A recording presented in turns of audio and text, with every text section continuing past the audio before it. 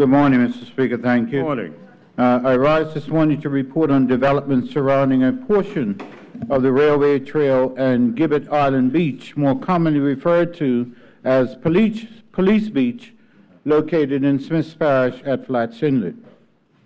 A portion of the railway trail was leased to a private trust in June 1998 for 21 years to the 31st of May 2019 to provide access to privately owned land off the railway trail.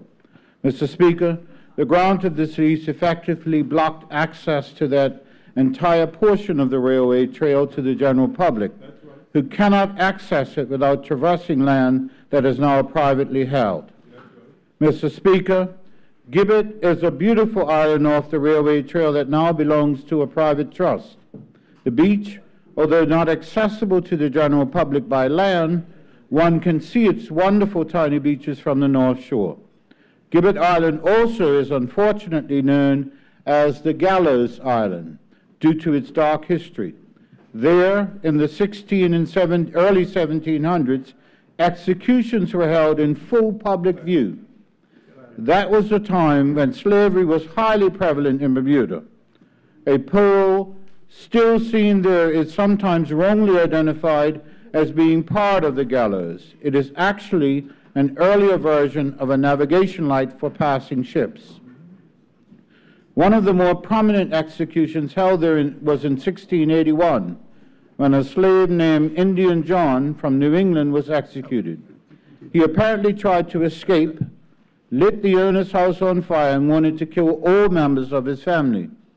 After his execution, his body was left hanging from the gallows for days after.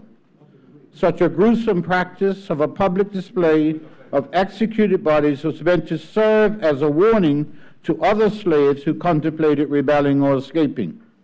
Mr. Speaker, from our research, the name Police Beach is derived from a 1977 agreement between the Bermuda Police Force, as it was then known, and the private landowner to allow policemen almost exclusive access to the beach.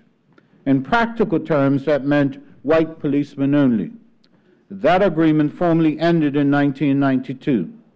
Mr. Speaker, Gibbet Island is now part of the African Diaspora Heritage Trail and bears the dark historical marks of slavery in these islands.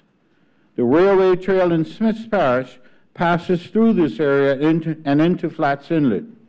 There used to be a railway bridge there that the train used to reach Shelly Bay and beyond, and plans are afoot to replace it. Mr. Speaker, with that background of both the trail and the beach, I have decided to take a number of actions. At midnight tonight, the 31st of May 2019, at the expiry of the current railway trail lease, it will not be renewed. And thus, from tomorrow, visitors and locals alike will regain unfettered access to that portion of the railway trail that has been denied for the last 21 years. The former leaseholder, like any other member of the public, will still be able to access their property from the trail. With regard to the beach, Mr. Speaker, the railway trail currently dissects the land that people refer to as Police Beach. That land on either side is still under private ownership.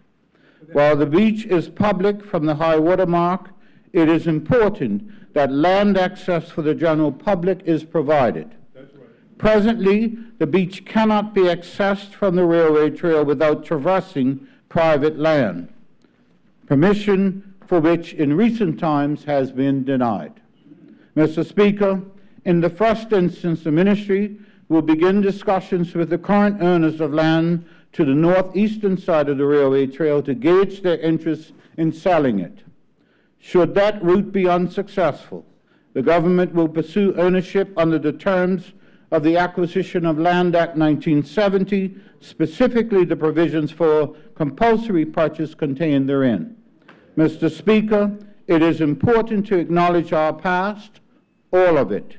But when the opportunity arises, even in a very small way, to take steps to correct past injustices, we must.